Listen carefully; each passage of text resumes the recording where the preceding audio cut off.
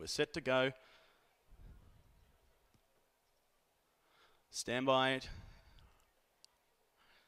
Gates flyback. Universal Halo was slow out of the gates together with Ferg's Gallop and Meritocracy didn't have any early speed either.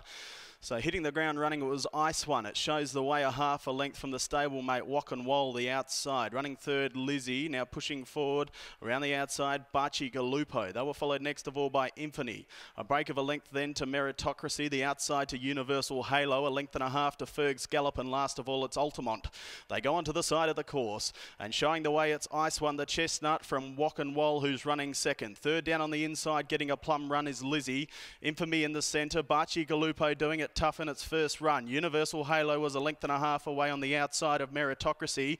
Fergs Gallop's going to sustain a wide run from the 600 and last of all it's Altamont. On the point of the turn as they come into the straight and it's Ice One who shows the way from the stablemate Walk and Roll. Lizzie now asks for an effort. Further back to Universal Halo. The fence is Meritocracy. Down the outside Infamy. Together with the Chestnut. Altamont the extreme outside. It's Ice One past the furlong. Here comes Lizzie the outside together with Universal Halo. Ice One in front. Universal Halo. Altamont over the top down the outside. And Altamont goes on and breaks maiden status. Photo second between Lizzie and also Ice One there. They were followed in by Universal Halo. Then came next of all Infamy. A further length and a half. Then to Meritocracy. They coming in at intervals. Ferg's Gallop. Wall knocked up in the run to the line. And Bachi Galupo had no luck whatsoever.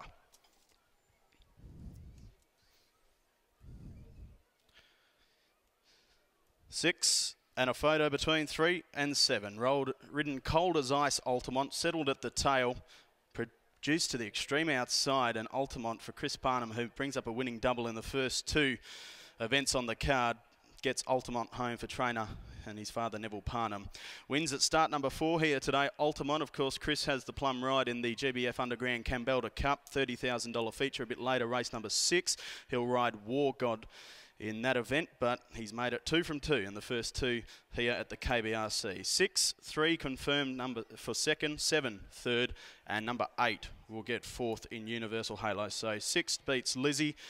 In third, number seven, Ice One, the pacemaker, and number eight, Universal Halo, has ran fourth. 113.05, the winning time there for Altamont. Geez, it had a fair old margin to make up at the top of the straight, but it's done it with flying colours. Altamont, your winner in race number two, 6378, the interim numbers after the running of race two, Kalgoorlie.